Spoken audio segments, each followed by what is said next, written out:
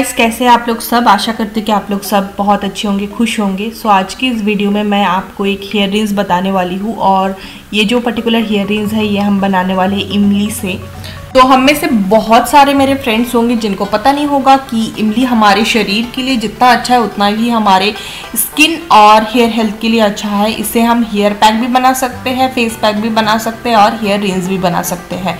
तो आज जो मैं बनाने वाली हूँ, वो है हेयर रिंग्स तो आपको चाहिए इमली, आप कोई भी कहीं का भी इमली ले आओ, लेकिन वो ब्लैक वाला इमली चाहिए, कच्चा वाला इमली ना ले। मैं ब्लैक वाला इमली से ही ये वाला रिंस बनाती हूँ। तो इमली में एक्चुअली बहुत ज़्यादा क्वांटिटी में पाया जाता है मिनरल्स और वाइटामिन जो कि हमारे हेयर ग्रोथ के लिए बहुत ज़्यादा अच्छा है। और उसके साथ इसमें पाया जाता है vitamin B vitamin C phosphorus amino acid magnesium आपको पता ही होगा, ये सारे जो भी मैंने नाम लिया है, इसके अलग अलग पिल्स मिलता है, जो कि हमें डॉक्टर सजेस्ट करते हैं और कहते हैं कि ये खाओ तो आपके हेयर ग्रोथ होगा हेयर फॉल रुकेगा, बहुत सारे। तो ये सब कुछ ही इमली में पाया जाता है और इसके साथ ये हमारे बालों को एक्चुअली बहुत स्ट्रॉन्ग बनाता है और हेयर फॉल प्रिवेंट करता है। ये एक्चुअली हेयर ग्रोथ को भी वो जो प्रोसेस है, इसे प्रमोट करता है। और सबसे अच्छी चीज़ ये हमारे बालों को स्ट्रेंथ प्रोवाइड करता है। इमली अगर हम अपने बालों पे यूज़ करें एज ए रिंस तो हमारे बालों को स्ट्रॉन्ग तो बनाएगा ही, उसके साथ हमारे बालों को एक शाइन देगा और जिनको भी ड्रैंडफ का प्रॉब्लम है, वो इसे यूज़ करें। वीकली वंस यूज़ करें या फिर ट्वाइस भी कर सकते हो और उसके बाद आप कोई भी एंटी ड्रैंडफ शैम्पू या फिर आप बॉडी शॉप का जो जिंजर शैम्पू आता है, उसे भी आप यूज़ कर सकते हो। तो यही सारे कुछ कुछ बेनिफिट मैंने आपको बताया और सच बोल रही हूँ, इसमें मैंने जो भी बेनिफिट बताया, ये कुछ चंद ही बेनिफिट है, और भी बहुत अच्छे अच्छे इसके प्रॉपर्टीज़ हैं। तो चलो अब इस हेयर रिंग्स को हम बनाते हैं। तो मैंने एक घुसबेरी यानी आंवला का साइज़ का एक इमली का बॉल बना लिया था, और उसके बाद उसे पहले धो लिया, क्योंकि जब इमली को सुखाते हैं ना, रास्ते पे जनरली सुखाते हैं, मैंने खुद देखा है और बाहर में सुखाते हैं तो इसलिए उसमें डस्ट वस्ट आ सकता है और भी पता नहीं क्या क्या आते हैं। जब हम सांबर या फिर और भी कुछ बनाते हैं, हम पहले धो लेते हैं ना सेम वैसे ही आपको धोना है। और उसके बाद आपको एक बड़ी सी बाउल लेना है, क्योंकि हम बाउल मेथड में ही इस रिंस को यूज़ करने वाले हैं। तो इस बाउल में हम डालेंगे एक लीटर पानी। मैंने एक लीटर पानी यूज़ किया है। उसके बाद वो जो हमने टैमरिन लिया था मतलब इमली लिया था, उसे हम इसमें अच्छे से उसका निचूड़ा बना लेंगे मतलब उसका पूरा एकदम भतूड़ा टाइप का बना लेंगे।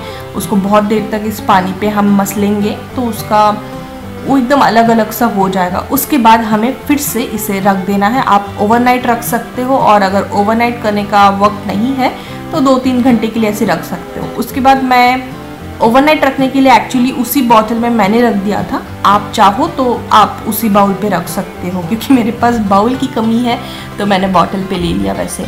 और उसके बाद मैं नेक्स्ट डे यूज़ करूँगी।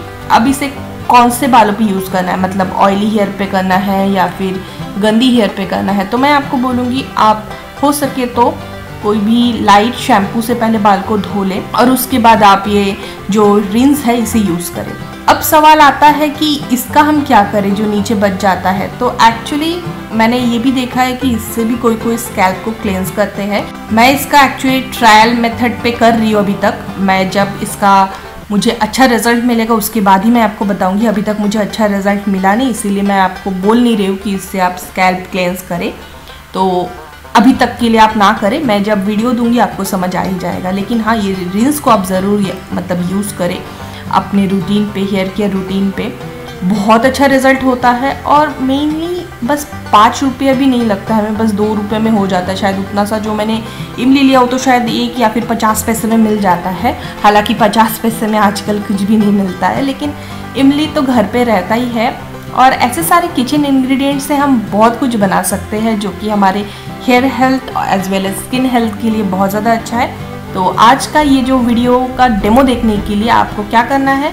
आपको करना है मेरे चैनल को सब्सक्राइब और उसके साथ पे जो बेल बटन है, उसे भी आपको क्लिक कर देना है ताकि मेरे चैनल के हर एक नोटिफिकेशन आपको सबसे पहले पहुँच जाए। तो मैं ऐसे कभी कभी कुछ कुछ रील्स है, ये मैं अपने D I Y curly girl method routine पे मैं यूज़ करती हूँ।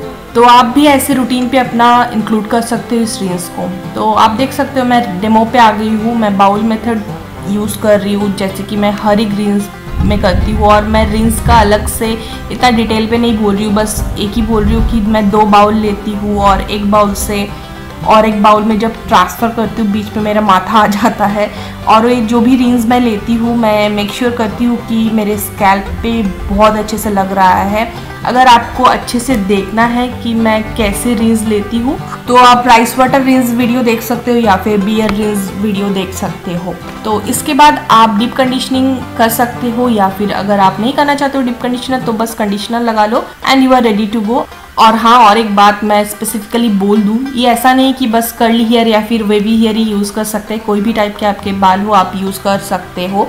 मेनली ये हमारे हेयर हेल्थ के लिए अच्छा है, ये स्टाइलिंग के लिए मैं नहीं बोल रही हूँ। तो अगर आपके बाल स्ट्रेट कर ली हुए भी हो, आप यूज़ करना। तो आशा करती हूँ कि आपको मेरा ये वीडियो अच्छा लगा होगा। अच्छा लगे तो एक लाइक कर देना, उसके साथ मेरे चैनल को सब्सक्राइब कर देना और और कमेंट करके बताना कि वीडियो कैसा लगा। तो मिलती हूँ मेरे नेक्स्ट वीडियो पे विद न्यू टॉपिक टिल आप रहिए खुश खाई दिन रही फिर बाय बाय